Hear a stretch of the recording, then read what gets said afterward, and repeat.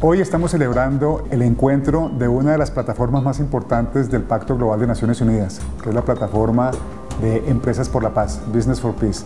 Es la primera vez que este evento se realiza en América Latina y vinieron a Bogotá justamente porque uno de los capítulos de Empresas por la Paz de Naciones Unidas más activos, más consolidados, más dinámicos es el capítulo de Empresas en Colombia.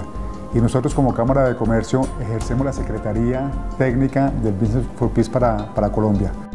Dado este buen relacionamiento que tenemos en Naciones Unidas y Pacto Global Mundial, nos permitió ser la sede mundial hoy de la, del Business for Peace 2017, un evento que permitirá consolidar el compromiso del sector privado con la paz y además nutrir la agenda de Bogotá, Ciudad Mundial de Paz 2017. ¿Qué es este evento? Convoca a empresas y organizaciones para que hablen de sus experiencias de cómo se construye paz. Y eso es lo que uno está viendo hoy con unas experiencias muy interesantes y profundas que van a hacer distintos empresarios y miembros de organizaciones internacionales para que le expliquen a un público numeroso de alrededor de 300 empresas cómo avanzamos en la construcción y consolidación de paz.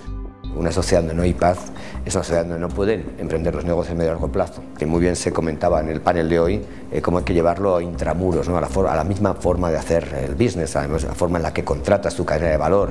Hay que tener siempre el enfoque de a dónde quieres converger, cómo quieres impactar. La forma en que gestionas tus recursos humanos, tus trabajadores y trabajadoras. Ahí es fundamental también tener ese enfoque de cultura de paz.